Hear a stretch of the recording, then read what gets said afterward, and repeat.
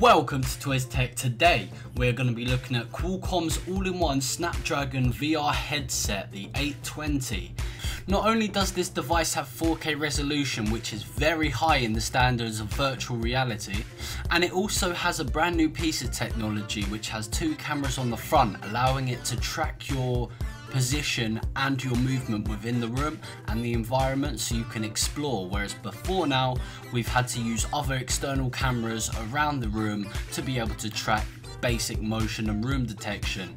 We have seen something similar to Intel's Project Alloy, but unfortunately we will not be seeing that until the end of 2017, whereas this headset is promised a lot earlier. Now another piece of technology is the camera inside, which actually tracks your eye movement so it can allocate where exactly you are looking.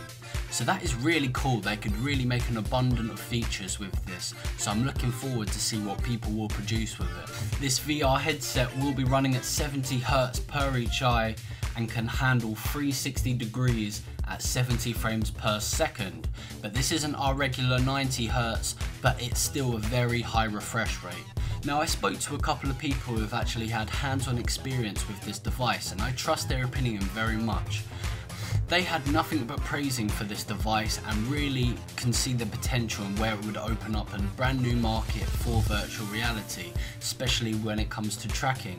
However, there are some improvements that need to be made which involves the actual movement in the virtual space but the fact that this is coming out early and one of the first products to do so it will allow other developers to build upon it. Speaking more about the internal hardware we got a Snapdragon 820 similar to what we've seen in the Samsung S7 a very fast quad core processor working alongside the graphics card Adreno 530. But thank you all for watching, this has been TwizTech, make sure to subscribe, this is a brand new channel where I'm going to be bringing you the best tech news and doing reviews and unboxing of brand new products plus giveaways. So make sure you come and jump on our little bandwagon. But thank you all for watching. Have a great day. Bye bye